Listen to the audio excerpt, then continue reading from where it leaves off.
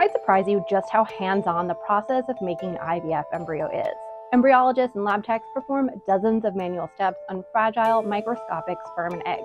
It's high stakes work. One wrong move and you could destroy someone's chance at a family. Which is why a new batch of companies are hoping to give the IVF lab a tech upgrade, swapping robotics, computer vision, and AI for human hands, eyes, and brains could help eliminate human error in IVF, lower costs, improve success, and expand access to fertility treatments that are today out of reach for most people. Many IVF labs are already starting to integrate AI and robotics into some parts of the lab, but companies like Overture and Conceivable hope that one day most of the IVF lab will be run by robots. As people are starting families later in life and more people turn to IVF, there's more interest than ever in figuring out how to bring down costs and make IVF more efficient. But some in the industry are also worried that the tech could roll out before it's ready. To hear more about the dilemma the industry faces, listen to this season of Bloomberg's Prognosis podcast.